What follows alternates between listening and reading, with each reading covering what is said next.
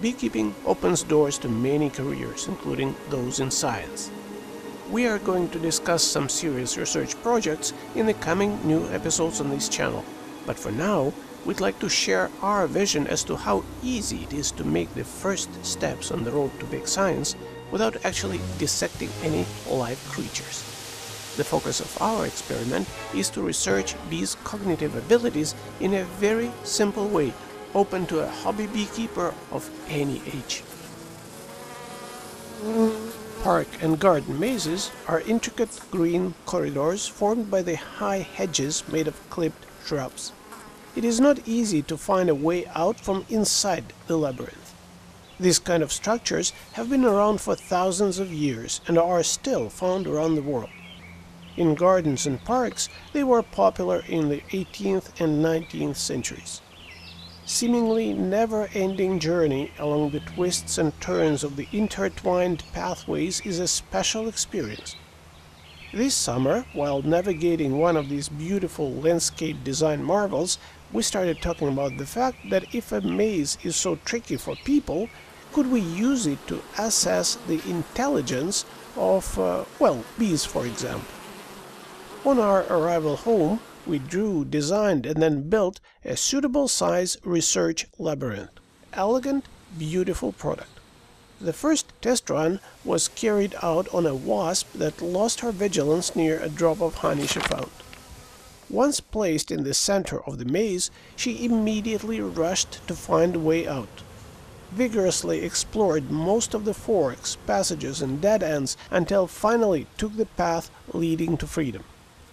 After that, a bee was given a chance to show how smart she is. All of the participants were able to find the way out within minutes. Some were fast thinkers and spent less time, for others the process took longer, but each one managed to get out. One of us got the impression that wasps are more energetic. The opponent claimed that bees seem to be moving more purposefully. The excitement of the competition made us conduct and record on video a series of experiments with both bees and wasps. From the footage collected, we chose champions in their respective categories, the competition finals will take place here and now. On the left is the bee. On the right is the wasp. Ready? Go! It was amazing to discover that small insects, which are commonly regarded as very primitive beings, can actually cope quickly and confidently with such a difficult intellectual challenge that even people find rather complex. So we got interested to compare the best achievements of bees and wasps with the results of people.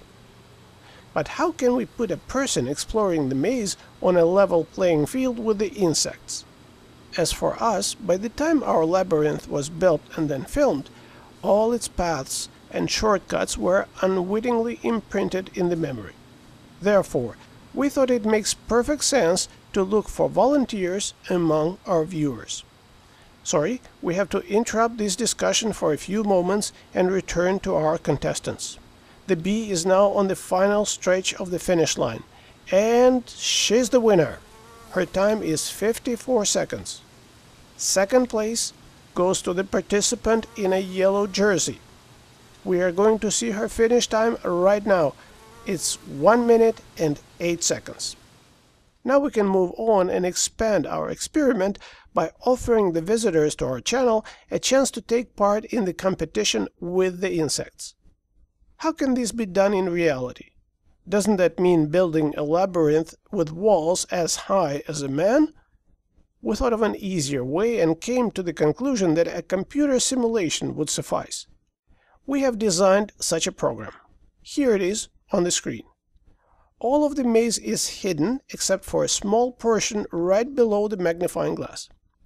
By moving it along the paths, you need to find a way out. At any time, you can take your finger off the handle and continue by putting it elsewhere within the response area. Actually, it is quite easy to take part in the experiment by using just two sheets of paper instead of a smartphone app. Get the picture file of the labyrinth from us and print it at the center of the first page. Make a 2 centimeter round hole at the center of the second one and put it on the top. Now, without prior looking at the labyrinth and memorizing it, start the timer and try to get from the center to the exit in one attempt, just by shifting the top paper sheet all along your path.